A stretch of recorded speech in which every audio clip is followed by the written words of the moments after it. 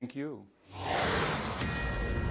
Fox News alert now 12 people are dead after a gunman opens up fire at a California bar packed with college students. A sheriff's deputy was killed trying to save others' lives. Trace Gallagher joins us now with more on the Thousand Oaks mass shooting. This is what we covered all morning long on Fox and Friends, Trace, and it's just getting worse. Yeah, yeah, Brian. By all accounts, Ian David Long methodically attacked the borderline bar, shooting a security guard outside, then walking inside and shooting other security teams before turning the Glock 45 caliber handgun toward those in the bar area and dance floor. Witnesses say it appeared he knew exactly what he was doing, and now we know why.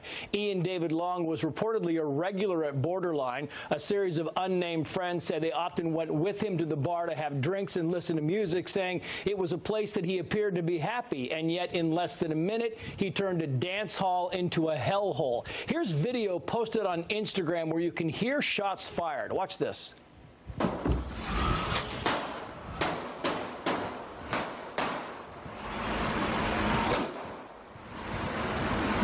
Ventura County Sheriff's Deputy Sergeant Ron Helus was the first officer in the bar. He exchanged gunfire with the suspect but was hit several times and died a short time later. Police say the shooter had an extended magazine, increasing the number of rounds the gun could fire, but witnesses also say he reloaded, giving some people time to exit and scramble for the exits. It also appears the shooter, a former Marine, may have battled with PTSD, Brian, and sadly, we have learned that former Fox News correspondent Adam Housley's 18 year old niece, Alaina, was among the victims.